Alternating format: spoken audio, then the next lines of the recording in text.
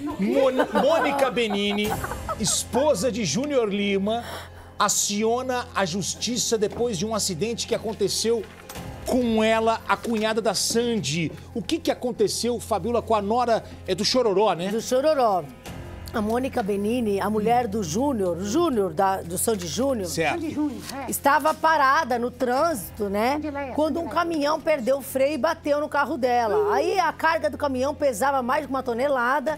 Por sorte, ela não se machucou. Graças a Deus. Só que assim, agora ela quer ser ressarcida pelos prejuízos de aproximadamente 4 mil reais. O acidente foi em 2008.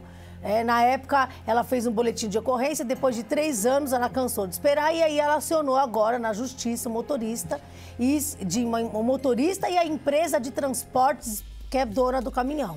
Então, ela tá querendo aí os 4 mil reais dela que ela gastou na franquia aí na época do, do seguro. Tá aí.